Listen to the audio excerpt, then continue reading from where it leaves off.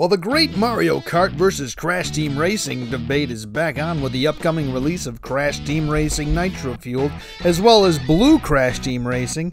It's time to look back at some of the lesser known kart racing extravaganzas. We already touched on Star Wars Super Bombad Racing, but uh, the real question can it get much worse than that? Huh. Well, I do know another kart racer named Crash Racing. I mean, uh, this just must be a prequel to Crash Team Racing or something, right? Wait, you're telling me there's no Koala Kong in it? This must be a mistake. What kind of freaking Crash game? Oh. Ew. Somebody once told me That Shrek Smash and Crash Racing is a game that was approved to be sold for actual human currency and not Monopoly money or Schrute bucks. Unlike an onion and an ogre, this game has no layers. Let me tell you though, this game may have some of the most annoying voiceovers in any game ever. First off, it doesn't even sound like Donkey and Shrek. It sounds like Fat Bastard and Mushu. Get it right, guys.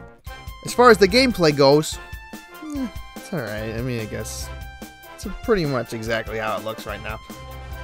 But I will say, as someone that was very ill from trying to do the first person view in Red Dead while riding the horse, I cannot even envision what Shrek is seeing right now.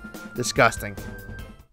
You see, I couldn't be bothered to actually unlock the other characters like I did as a kid for some reason, but we don't need to. I'm pretty sure I can figure it out just from the shadows. So this right here, this is a squirrel from Over the Hedge riding animated John Cena. This one is clearly a Mantar. Easy one right here. Entrance in a cup. This is teenage girls riding Team Jacob. This one is not appropriate for children. This is actually the cast of The View.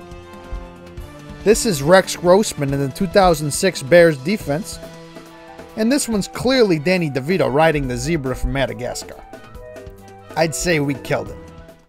In conclusion, it's not a good game, but it's not as bad as you thought, I guess. There's certainly way, way, way worse, but I don't want to get too down on it. You know, Smash Mouth literally plays this on their tour bus religiously, round the clock. So I'm giving you, Rockstar, some homework. Remaster it, you jerk. But where does Shrek Smash and Crash Racing go on the wall?